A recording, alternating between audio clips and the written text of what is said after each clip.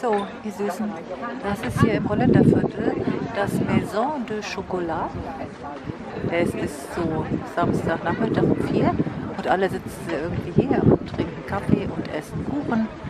So, und jetzt haben wir auch einen Platz ergattert. Ich gehe mit euch mal rein. Äh, es ist natürlich draußen voll, es ist drin voll. Aber die haben hier eine coole Idee gehabt, dass im Flur, dass, dass, dass der Flur praktisch fremd, zweckentfremdet wurde, dass im Flur auch gesessen werden kann. Und ziemlich cool auf so Barockstühlen, wie ihr seht. Da die Wände sind schön. Die, wieso muss die mir jetzt in die Kamera rennen? Hättest du doch gesehen. Entschuldigung. Also das ist die liebe Hanna, die hält den Kopf nach unten. Ich zoome jetzt mal. Hanna, mach mal, das ist jetzt diese belgische Schokolade. Guck mal hier, ich zoome das jetzt mal. Wow. Das ist so eine, mach mal, das ist so eine Kalorienbombe und die werden wir zu uns nehmen. Das heißt, einmal Zuckerschock. ähm, ja.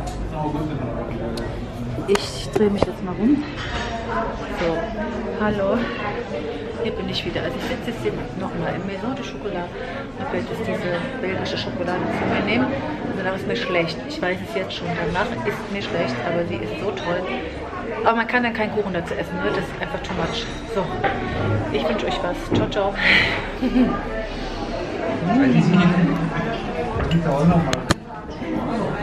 Das Kind löffelt. ah, cool.